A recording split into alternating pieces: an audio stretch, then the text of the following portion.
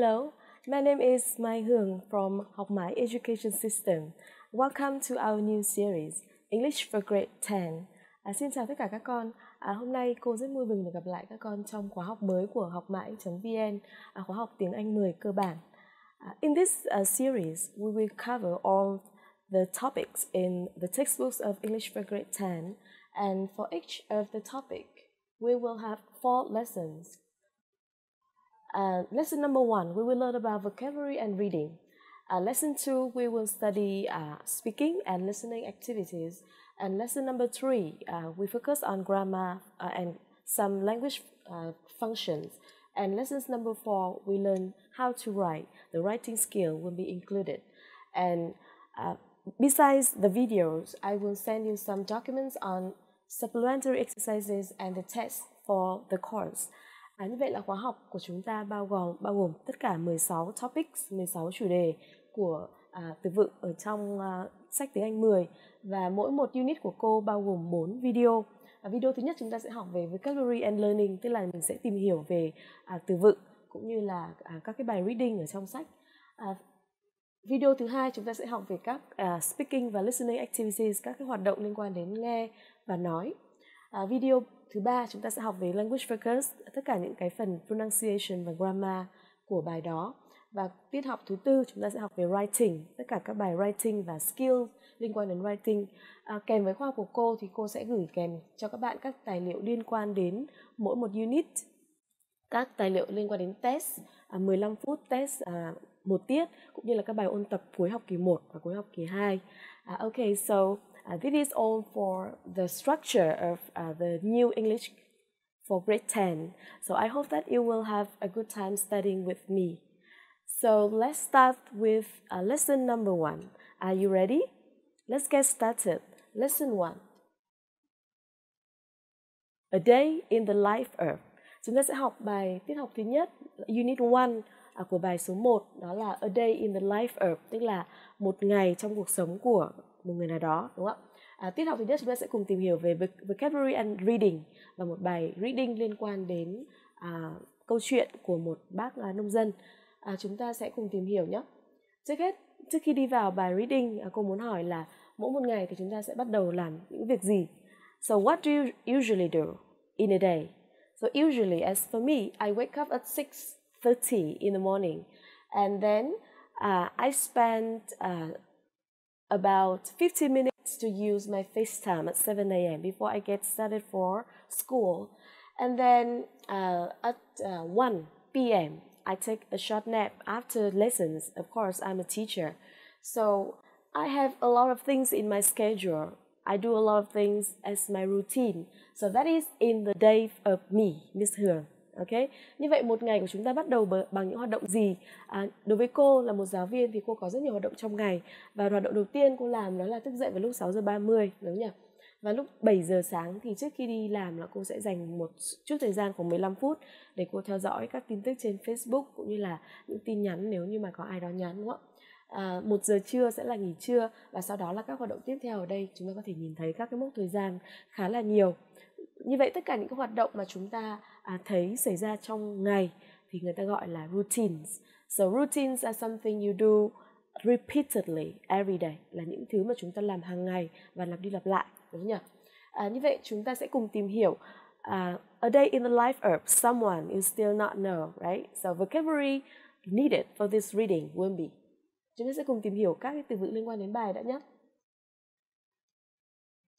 Um, thứ nhất là có một số cấu trúc À, về phrasal verb ở đây à, trong bài đọc chúng ta sẽ thấy đó là go off to go off that means to make a loud noise.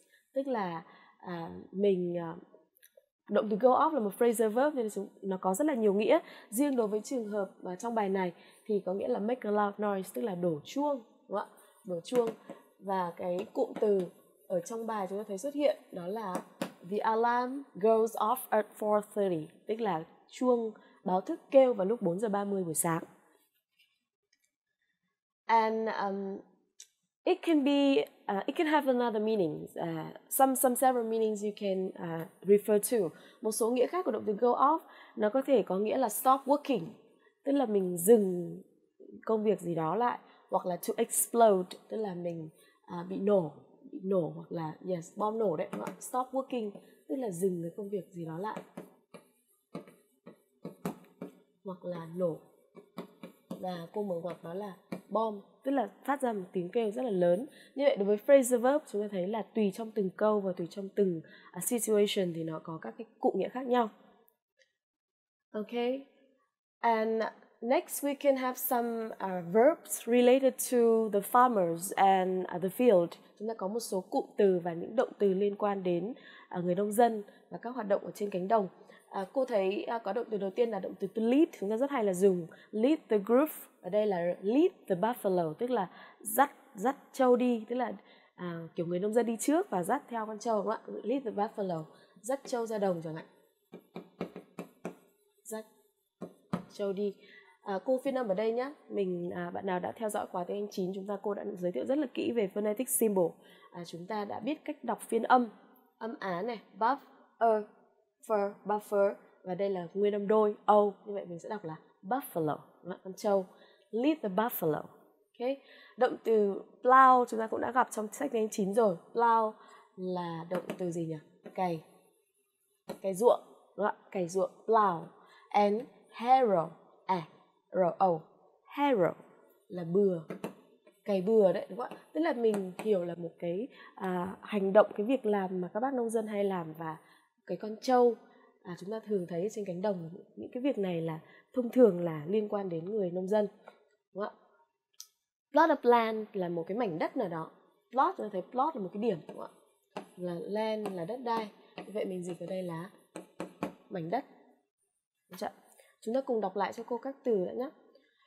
Uh, the first one go off. Go off. Um, lead the buffalo. Lead the buffalo. Plow. Plow. Harrow. Harrow. Plot of land plot of land okay let's move on to some other words. Uh, so the next word is fellow. Fellows is an adjective to describe someone you know uh, very well or usually the same age and the same interests. fellow là một tính từ miêu tả một số người cùng tuổi với chúng ta và cùng sở thích đúng không ạ? Tức là à, hội kiểu như là mình gọi là bạn à, bạn bè đồng lứa đúng không? and uh, peasant fellow là bạn đồng lứa. Fellow it's like my fellow teacher. Fellow teacher is a group of teachers who have the same age as me and maybe we share the same interests okay? Peasant. Peasant is a word to describe like the farmer yes, the farmer, but uh, sounds like the farmer. Nó giống như là từ nông dân, peasant. Đó, peasant là người nông dân. Nhưng mà cái từ peasant này thì người ta dùng mang tính chất là à, formal hơn, tức là trang trọng hơn. Đó, peasant. E, er, z, peasant. Okay. Next we have uh, local tobacco. Local tobacco. Local là thuộc về địa phương. Tobacco là thuốc lá thuốc lá địa phương. Ở Việt Nam mình mình đang đề cập đến Việt Nam như vậy địa phương ở đây nghiền ngầm chỉ là Việt Nam. Và Việt Nam có một cái đặc trưng à, một cái à, loại thuốc lá đặc trưng đó là mình gọi là dùng điếu cày đó là thuốc lào. Chỉ có Việt Nam có thôi à, người ta gọi là local tobacco. À, còn à, bình thường thì nó gọi là cigarette là thuốc lá đúng không ạ? Ở đây là local I mean in Vietnam we just use in Vietnam tobacco thuốc lào và người nước ngoài đến Việt Nam người ta rất là thấy thú vị về cái hình thức này người ta nhưng mà à, cô có xem một cái video mới chia sẻ trên uh, YouTube thì là có một người nước ngoài hút cái uh, thuốc lào và đã bị say và bị ngả ngay ra. Okay, so tobacco is cigarette, one kind of cigarette. Uh, the verb to repair in here was repair the banks of our plot of land. Trong bài có có cụm từ liên quan đến động từ sửa chữa Ờ, là to repair là sửa chữa. Và ở trong bài đọc tôi thấy là người ta sửa cái gì đó the banks of our plot of land. Banks là cái bờ đây là bờ không phải ngân hàng á banks là bờ như kiểu bank river bờ sông. Đây là sửa ở cái bờ ở cái cái mảnh đất đúng không ạ? To repair sửa.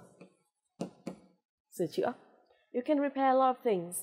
À, ngoài repair mình có thể dùng động từ fix đúng nhỉ? Fix cũng có nghĩa là sửa chữa. Or to mend something đều là các động từ uh, synonym cùng nghĩa. Chúng ta có thể dùng thay thế. And uh, pump water. Pump water. Uh, xả nước động từ xả nước. Pump. And uh, some sometimes we do the transplanting. The transplant là uh, cấy cấy ghép. Do the transplant mình dịch là cấy. Cấy lúa.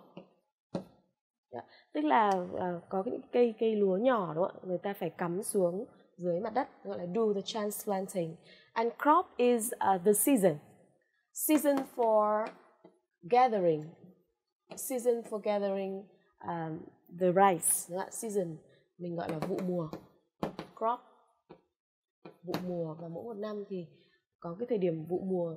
Người nông dân rất là rất là vất vả phải thu hoạch rất là nhiều ạ and we have to be uh, contented with something. Contented that means you are happy uh, and satisfied with something. And so the meaning is mình dịch là gì ạ? Hài lòng.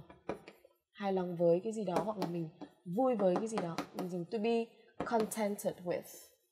Thay vì dùng happy chúng có thể dùng contented and satisfied with something content. Okay chúng ta đọc lại nhé. Uh, the first one here we have fellow. Không biết cô chỉ này mình có nhìn thấy không chắc không nhìn thấy. Okay fellow. Fellow. Peasant peasant tobacco tobacco local tobacco repair repair repair the banks of our plot of land pump pump water do the transplanting do the transplanting crop crop contented with contented with okay chúng ta chuyển sang một số từ khác.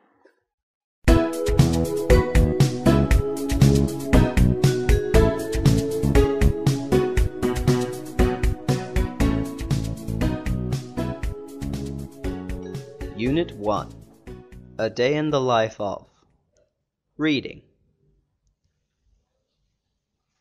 The alarm goes off at 4:30. I get up and go down to the kitchen to boil some water for my morning tea. I drink several cups of tea, have a quick breakfast, and then lead the buffalo to the field. It takes me 45 minutes to get ready. I leave the house at a quarter past five, and arrive in the field at exactly 5:30. I plough and harrow my plot of land, and at a quarter to eight I take a short rest. During my break I often drink tea with my fellow peasants, and smoke local tobacco. I continue to work from a quarter past eight till 10:30. Then I go home, take a short rest, and have lunch with my family at 11:30. After lunch I usually take an hour's rest. At 2:30 in the afternoon we go to the field again. We repair the banks of our plot of land. Then my husband pumps water into it while I do the transplanting. We work for about two hours before we take a rest. We finish out our work at 6 p.m. We have dinner at about 7 p.m. Then we watch TV and go to bed at about 10 p.m. Sometimes we go and see our neighbors for a cup of tea. We chat about our work, our children, and our plans for the next crop. Although it's a long day for us, we are contented with what we do. We love working and we love our children. Okay, so uh, we just uh, listened to a short tape script about the reading. Uh, so we come to the task of how to deal with uh, the reading text. Okay, như vậy là chúng ta vừa về nghe xong cái phần reading à, của cái bài unit là một đúng không ạ? À, chúng ta thấy một cái bài reading rất là ngắn người ta kể về các hoạt động hàng ngày và sau đây chúng ta sẽ cùng tìm hiểu các cái bài tập nhỏ liên quan đến phần reading nhé. Cô đi vào bài tập thứ nhất đó là choose the best option A, B ờ, or C. Chúng ta sẽ chọn các cái phương án đúng cho các câu trả lời sau. Uh, the alarm goes off at 4:30 là chuông uh, báo thức kêu vào lúc 4 giờ 30. À, như vậy lúc nãy chúng ta cũng đã quan sát cái phần à, reading và trong sách chúng ta cũng có à, rất là rõ đúng không ạ? À, từng câu một của người ta đọc như thế nào và cô cũng đã trong cái phần tape script thì cô cũng đã ghi từng câu một rồi chúng ta phải đọc lại và chúng ta tìm đúng cái thông tin này và trong bài chúng ta thấy là thông tin 4 giờ 30 là đúng không nhỉ? At 4:30. Oh yeah, yes. So that is uh, correct. But the verb we should use here is to ring. À, người ta bảo động từ goes off trùng nghĩa với động từ nào? Chúng ta thấy đây là nó trùng với động từ to ring. Ring tức là kêu và đổ chuông, đúng không ạ? Câu số 2, it takes me 45 minutes to get ready. À, và người ta yêu cầu chúng ta tìm động từ takes cùng trùng nghĩa với động từ nào. Như vậy câu thứ nhất, câu thứ hai chúng ta dịch là gì ạ? À, tôi mất 45 phút để chuẩn bị 4 mất 45 phút tức là cái khoảng thời gian mà chúng tôi cần chuẩn bị. Như vậy là chúng ta sẽ chọn động từ nào đây ạ? À, to get ready. À, không nhầm một chút, đây không phải to take nữa. Mà người ta yêu cầu là chúng ta tìm cụm từ trùng nghĩa với to get ready. I'm sorry, to get ready that means to to prepare, chuẩn bị, đúng không? chuẩn bị. And number three, we chat for uh, we chat our about our work. Và cái từ chat ở đây chúng ta sẽ phải tìm một cụm từ tương ứng. Đây cô có để màu vàng hơi màu một chút có cái chân. To chat that means to talk, to talk uh, something with your friend. Okay, we cannot use learn. Chat không phải là học, chat không phải là discuss. So it means we talk in a friendly way. Chúng ta nói chuyện với nhau thường là bạn bè.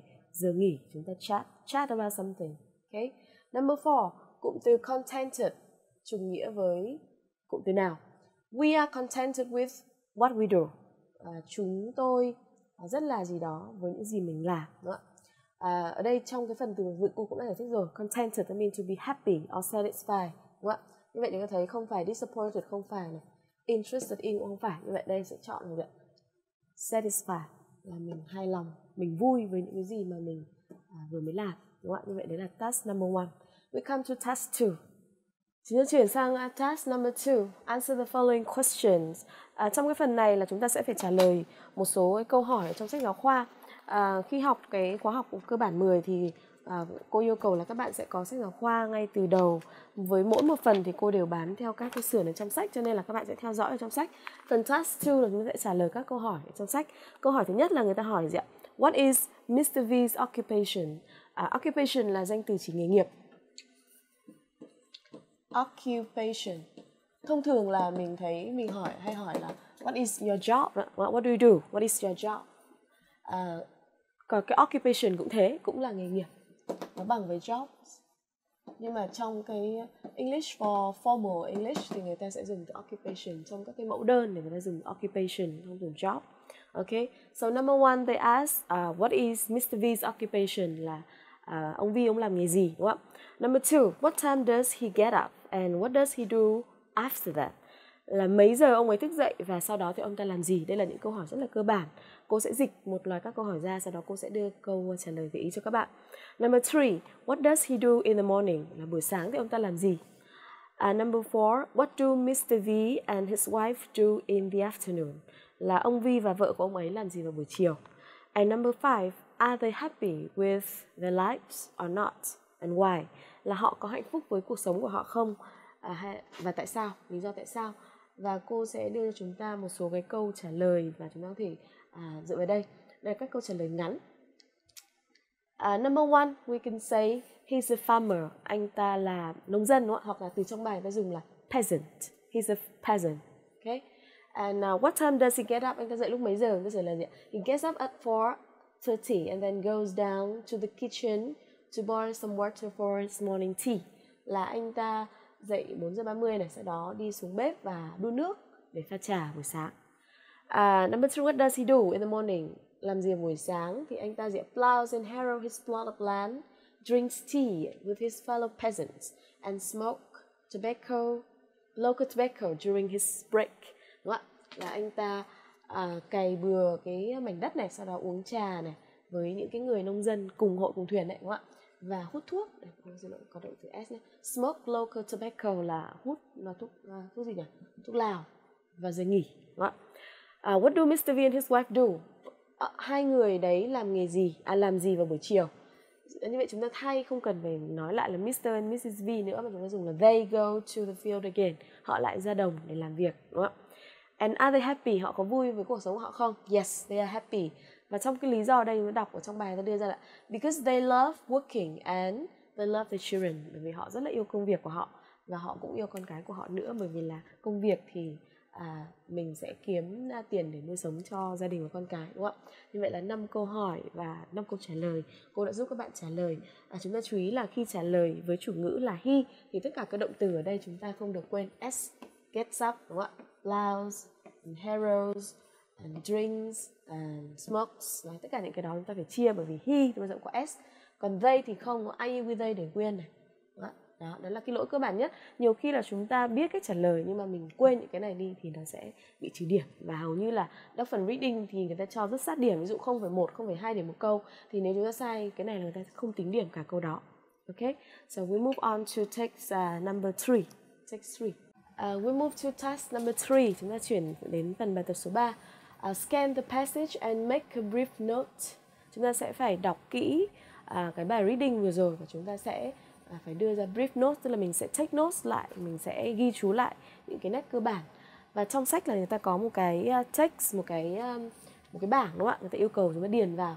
Ví dụ in the morning buổi sáng in the afternoon buổi trưa và after dinner là sau bữa tối và có các cái um, người ta yêu cầu chúng ta phải take notes thì ở đây cô đã giúp chúng ta à, làm cái việc là scan kỹ từng cái reading đó và các cái mốc thời gian ở đây trong bài mỗi một cái mốc thời gian như thế này thì tương ứng với một cái hoạt động của Mr. V và Mrs. À, v à, làm gì đúng không ạ à, mốc 6 giờ 30 như vậy chúng ta sẽ nốt lại ở trong sách nhé trong sách cô lấy cái này trong sách ra cô lấy cái cái phần bảng này ra còn cái thông tin là cô đã điền vào rồi đúng không ạ À, như vậy từ 4 giờ 30 nó thấy một loạt các hành động như là gì? Get up, go down to the kitchen, boil water.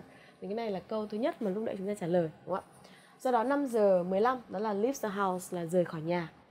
À, 5:30 5 giờ 30 arrives in the field, plows and harrows the plot of land, đúng không ạ? Đến cánh đồng này, cây bừa cái mảnh đận, mảnh ruộng đó, đúng không ạ? 7:45 7 giờ 45 takes a short rest, nghỉ trưa À, uh, 10:30 goes home 10 giờ đi về nhà 11:30 has lunch with with his family 10 rưỡi là gì ạ 11 rưỡi là ăn trưa của gia đình 2 giờ 30 vào buổi chiều này Mr. and Mrs. Stewart go to the field again hai ông bà lại đi đến uh, ruộng ra ra ruộng tiếp repair the bank sửa cái phần uh, bờ sông đúng không ạ and Mr. V pumps water into the plot of land à, ông V thì dạ, xả nước xả nước ở cái ruộng và Mrs. Tuyết does the transplanting còn cô Tuyết thì là cấy cái lúa đúng không Six, at six they finish work và lúc 6 giờ thì họ hoàn thành công việc. And at seven they have dinner và 7 giờ họ ăn tối đúng không ạ? After dinner they watch TV go to bed sometimes visit neighbors and chat with check with them. Buổi tối sau bữa ăn tối thì là họ xem TV này go to bed đi ngủ này. Thỉnh thoảng thì xem uh, thăm các cái neighbors nữa thăm hàng xóm và trò chuyện với họ. Đó, như vậy là cô đã giúp chúng ta take notes lại toàn bộ một cái bài reading rất là dài nhưng khi mà chúng ta biết cách notes như thế này thì ít nữa chúng ta sẽ phải kể kể lại. Hoặc là à, sau khi một cái đoạn reading người ta yêu cầu chúng ta summary lại chúng ta phải à, là tóm tắt lại và à, đưa ra các cái thông tin chính thì đây cũng là một cái cái động tác rất là quan trọng để chúng ta có thể nhớ hết các cái chi, chi tiết và sự kiện đúng không ạ? À, như vậy là cái task 3 là xong. Cô đã đã giúp chúng ta trả lời xong cái task number 3 và cái phần after you read là sau khi đọc thì người ta yêu cầu là gì ạ? Working groups talk about Mr. V and Mrs. Twist daily routine. Cái từ routine này cô đã giải thích ngay từ đầu video rồi đúng không ạ? Routine là cái hành động mà chúng ta làm thường xuyên, các công việc làm thường xuyên hàng ngày như là dậy này, mặc quần áo, ăn sáng, đi làm, vân vân. Routine. Okay. Người ta bảo chúng ta sẽ phải hoạt động theo nhóm và kể lại các cái hoạt động hàng ngày của ông bà, ông Vi và bà Tuyết này như thế nào. Đúng không ạ? Một bạn hỏi và một bạn trả lời. À, có thể là chúng ta sẽ hỏi là gì? What does Mr. V do at 4.30?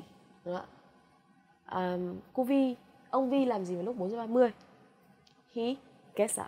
Đấy, đây là có thể nếu chúng ta làm theo hai người một bạn hỏi một bạn trả lời chúng ta có thể hoàn toàn dựa vào cái bảng à, phía trước của cô đúng không ạ đây what does he do what does Mr. V do at 4:30 đúng không ạ thì mình trả lời luôn Mr. V gets up và goes down the kitchen vân vân đúng không ạ sau đó bạn sẽ hỏi tiếp là gì what does he do at 5.15 đúng không ạ? Anh ta làm gì vào lúc 5 giờ 15 Như vậy vì cơ bản là chúng ta chỉ thay cái mốc thời gian đi thôi.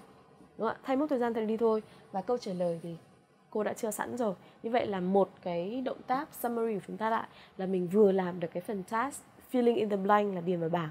Và mình vừa làm được cái phần talking, tức là mình phần nói ở phía sau hoặc có hai cách thứ hai là nếu như cô giáo bắt chúng ta là kể lại thì chúng ta có thể cũng dựa vào đây để kể. Không phải hỏi và trả lời mà chỉ kể thôi đúng không ạ? Mình sẽ mình kể là gì? In the morning at 4:30 Mr. V gets up goes down to the kitchen boils water uh, for tea drinks tea has quick breakfast leads the buffalo to the field. Oh. and then at 5:30 5:15 he leaves the house. Đúng không? Vào lúc 5 15 là anh ta rời khỏi nhà. Vân vân vân. Đến cuối cùng là gì? After dinner. Uh, after dinner ở đây là cô không chia toàn bộ cái phần này là cô không chia s ở động từ bắt đầu từ ờ, 2 giờ 30 không chia động từ s bởi vì là cái phần này là cả hai người người ta làm. Hai người cùng làm thì mình không chia s nữa chỉ một người thôi thì chúng ta chia s. Như vậy toàn bộ từ 4 giờ 30 cho đến 11 giờ 30 là chúng ta người ta hỏi về Mr. V đúng không ạ?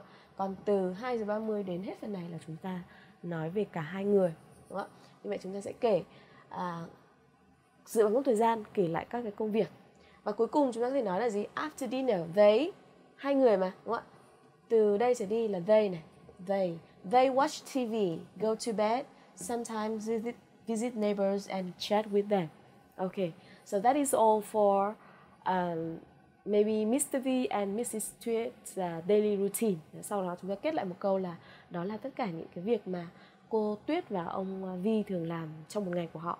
Đấy, như vậy là summarize and talk about their daily routine. À, như vậy cô à, đã vừa hướng dẫn cho chúng ta à, toàn bộ các cái activities của phần à, reading lesson number one à, in unit one a day in the life of à, hy vọng là chúng ta sẽ có một cái nhìn tổng thể về cái bài reading này cũng như chất lọc tất cả các cấu trúc và từ mới để học à, và sau mỗi một cái video này thì chúng ta sẽ à, thường là sẽ học từ mới và nhớ. Reading bao giờ sau reading một cái gì đó chúng ta cũng phải nhớ cho cô. Không nhớ hết thì cũng phải nhớ được một vài cái chi tiết à, ngắn về cái đoạn reading đó để chúng ta cải thiện cái memory. Increase the way we learn vocabulary and train your brain so that it can work with longer texts later ok? Chúng ta sẽ à, học cách summarize và nhớ ghi nhớ. Đó là một cách chúng ta rèn luyện cho cái trí nhớ của mình. Uh, so it is uh, the end of this unit. And uh, please study hard at home and see you very soon in lesson number two thank you and bye for now